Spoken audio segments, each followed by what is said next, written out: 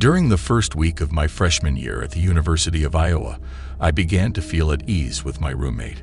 He had a strong desire to rush a fraternity, and rush week was approaching. However, the parties were beginning on Thursday of the first week, before rush week officially started. My roommate did not want to attend the party alone because he felt it would be more difficult to meet people that way. He asked me to go with him, and I agreed, even though I had no interest in joining a fraternity. Nonetheless, I still intended to attend parties since I was attending a school known for its social events. My roommate planned to attend one frat party on Thursday and parties at various fraternity houses on Friday and Saturday.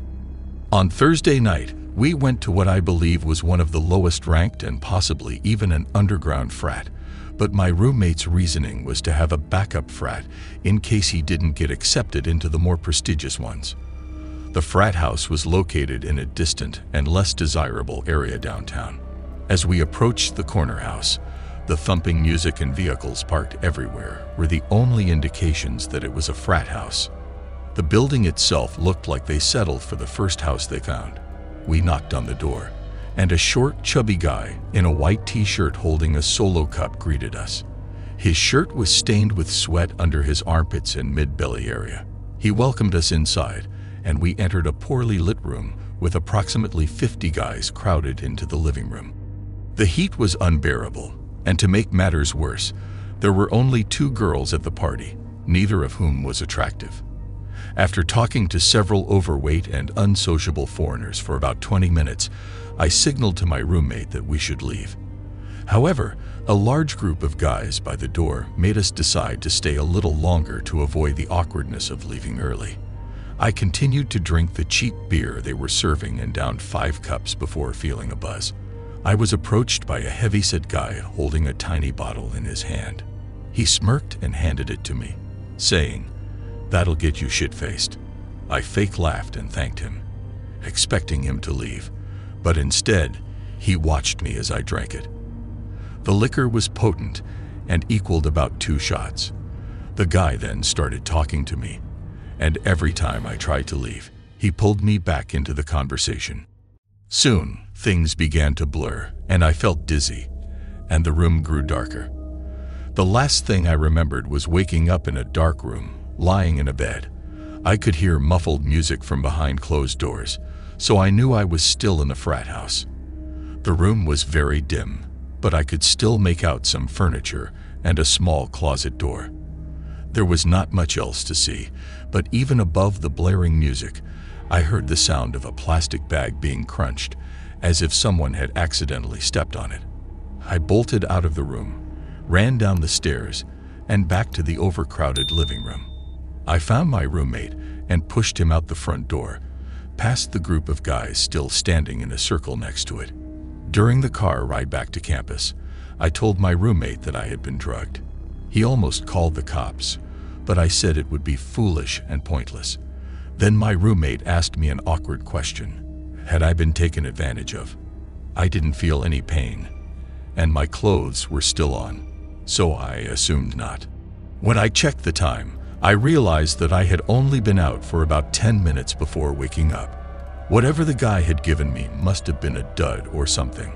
Thank God that was my only college experience of attending an underground ghetto frat party and it remains to be my scariest life experience.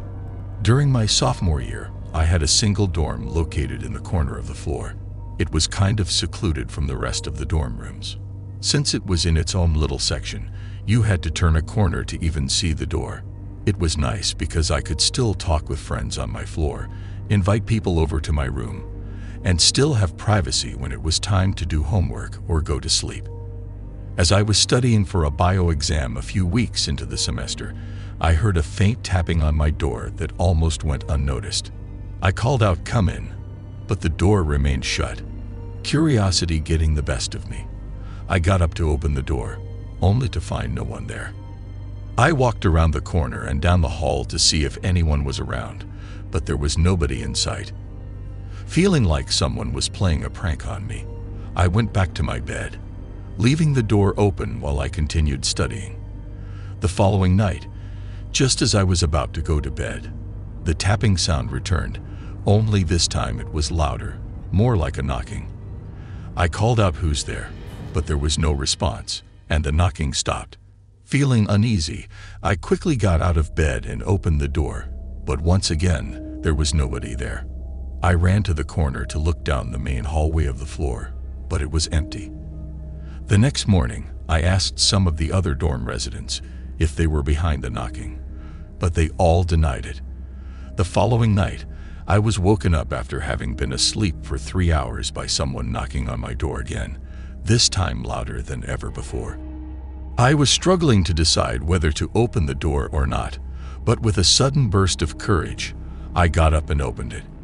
As expected, nobody was there, but this time, I sprinted down the narrow corridor that led to my room. When I turned the corner, I caught a glimpse of someone disappearing behind the far end of the hallway. I ran as fast as I could towards that person, and when I reached the spot where I had seen them, I found a door closing. It wasn't a dorm room, but a bathroom. Feeling ready to confront whoever was playing this prank on me, I pushed the bathroom door open with force. The lights were off, but I turned them on, expecting to see someone hiding in there. However, the bathroom was empty. My first instinct was to check the two bathroom stalls, which were both closed. I got down on my hands and knees and looked under the stalls. Under one of the doors, I could see a pair of heavy black boots. Taking a deep breath, I pushed the stall door open. I was bewildered as I stared at the boots lying on the floor with no one in sight. Suddenly, I heard a chilling laughter that was not feminine or childlike, but rather that of an old, crazed man. I felt a wave of fear wash over me and ran back to my room, slamming the door shut. I crawled back into bed and frantically texted all my friends, but everyone was fast asleep. The knocking sound came again, but I ignored it, and after about 30 seconds, it stopped. The following day, I spoke to everyone on my floor, and no one had heard any knocking and everyone denied any involvement in the prank. I cannot comprehend why someone would target me or who the man with the boots and the sinister laughter was, but the fact that he was an elderly man is unsettling. Stacy and I were roommates in college and we got along pretty well. Despite her messiness, we had no issues and often shared things. Our dorm room had bunk beds, which was unusual for college, but it worked out since I was a lighter sleeper than Stacy. One night, something strange happened that I can't quite explain. We were both in the room studying, with me at my desk and Stacy in her bed. I had an important presentation the next day and was going over my notes, practicing my talking points out loud. Stacy listened and even offered to let me borrow one of her formal tops for the presentation since I didn't have any. After helping me review, she went back to her own studying and then went to sleep. I kept studying on my laptop in my top bunk, turned off my desk lamp as a courtesy. Stacy would snore occasionally, so when she began snoring, I knew she was asleep. I continued studying and rehearsing for another half hour to an hour before closing my laptop screen, placing it at the end of my bed, and then going to sleep. I woke up around 5 a.m. when light was just barely starting to creep into the almost pitch black room.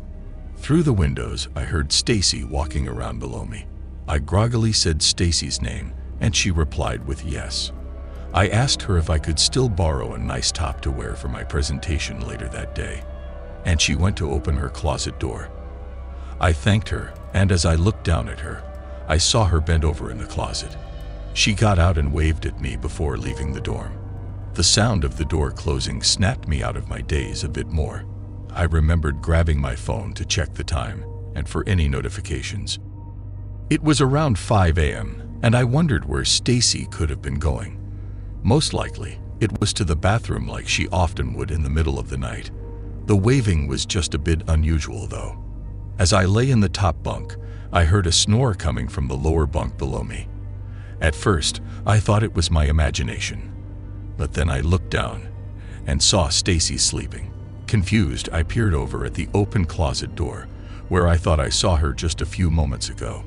Unsure of what was happening, I quickly got out of bed and looked both ways down the hallway, but there was no one there. It had been at least five minutes since I heard the door close. I woke Stacy up and told her that someone had been in our room. It took her a moment to fully wake up and grasp the situation, but she quickly checked her closet for anything stolen. Luckily, nothing was missing, but I still have no idea who that person was or how they got into our room.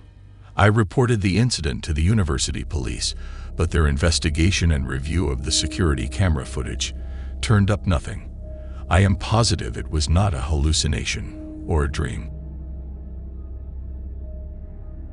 As a senior in college, last year, I had a lot of challenging engineering classes.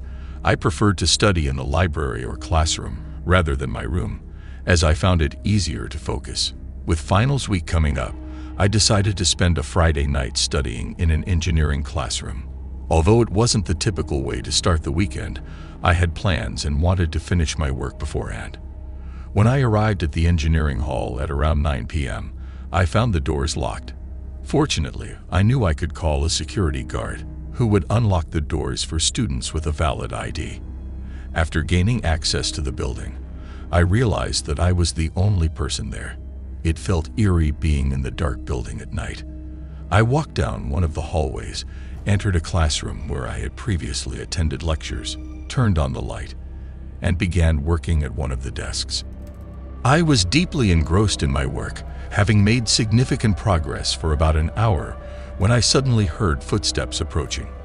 As I looked up, I noticed the classroom door opening and a stranger, a man wearing a red sweatshirt, jeans, and a baseball cap, walked in. He stood in the doorway and asked if I would mind if he also studied in the room. Although I felt slightly annoyed by his presence, as there were plenty of other available classrooms, I didn't want to come across as rude and agreed to his request. He placed his backpack on the first desk in the front and took a seat. I resumed my work at my desk, which was situated towards the back of the classroom, as it was where I felt most comfortable. After a few minutes, I looked up and noticed something peculiar. The man's backpack was still on the ground next to his desk, and he hadn't retrieved anything from it. He just sat there, staring straight ahead, without even glancing at his phone. After attempting to refocus on my work, I periodically glanced over at the man, but he remained motionless and continued to make me uneasy. As it was approaching 11 p.m. and my concentration was waning, I made the decision to pack up and leave. I shut my laptop, stowed it in my backpack along with my book, and headed towards the door.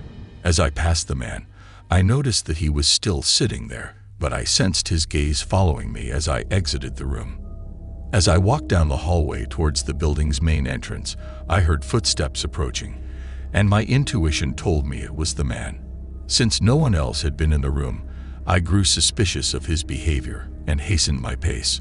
Upon reaching the parking lot, I saw only one other car aside from mine, and the man emerged from the building and headed towards it.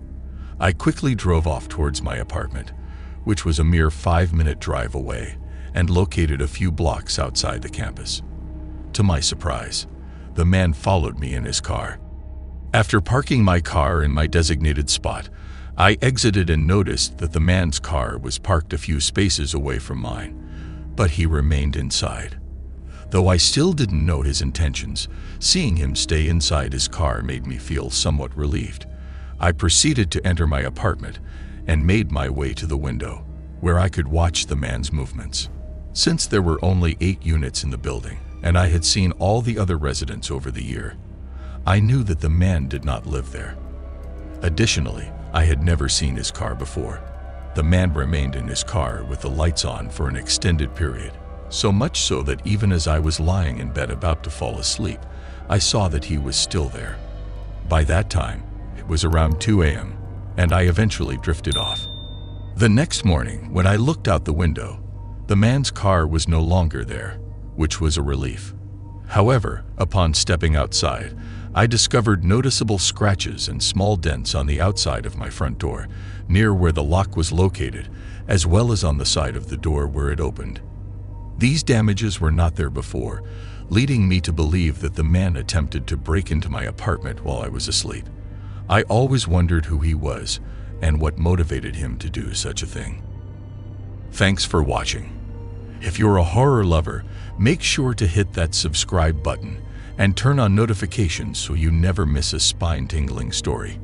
Don't forget to leave a comment down below with your favorite horror story or idea for future videos.